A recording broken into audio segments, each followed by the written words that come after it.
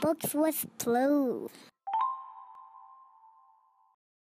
Today we are reading Something's Wrong by Jory John and Erin Cron. Erin Kraan. Let's see. I ate my breakfast. I wrote in my journal. I watered my plants. I took my bath. I tried on the gift from my grandma. And I combed my fur. Hmm. So why do I feel like I'm forgetting something? Something's wrong. I don't get it. Why do I feel so odd right now? So off.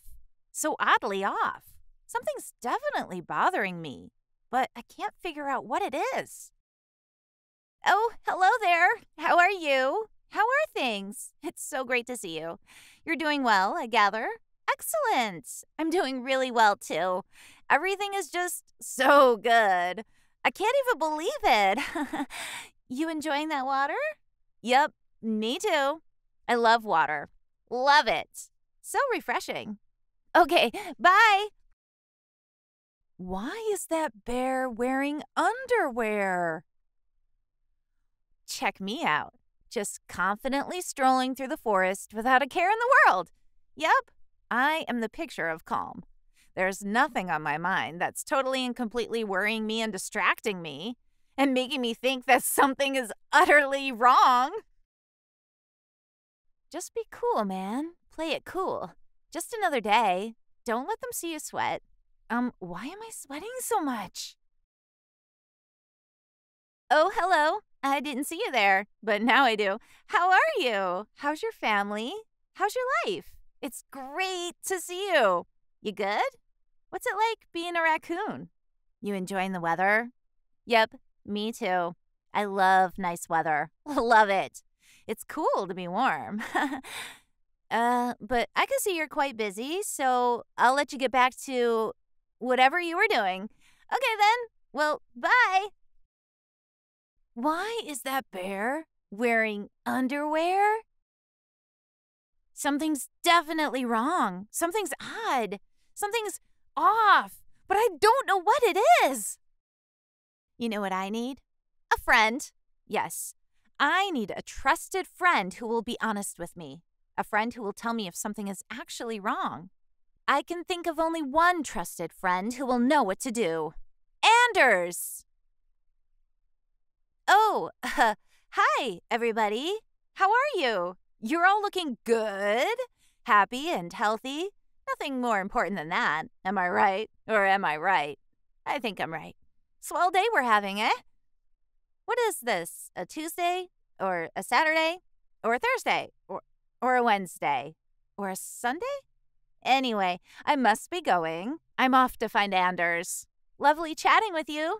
Take care and say hi to your families for me. We must get together again soon. Okay! Why is that bear wearing underwear?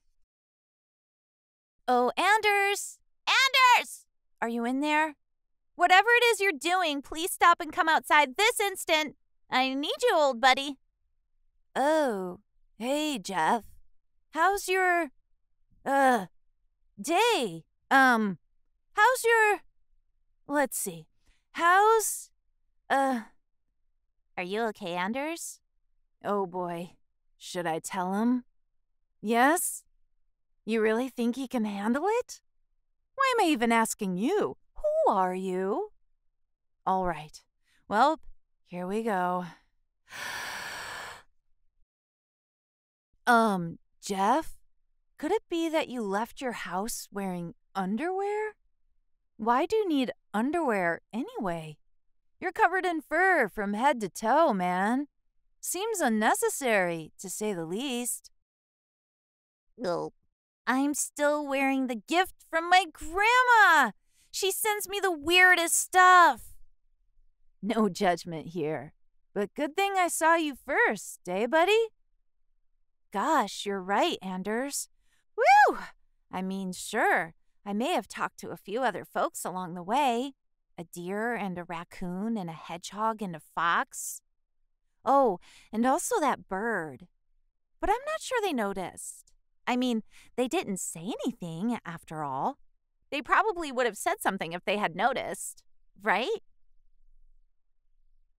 I suppose, Jeff.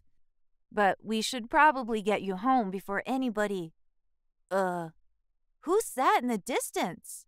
Over yonder.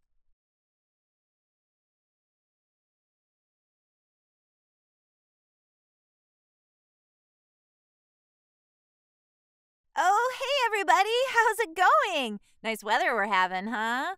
Looks like rain or something. Or maybe not. It's cool to be warm. anyway, how are all your families? Everybody good? Say hi from me. Well, I must be going. Which way was I heading? Let's see.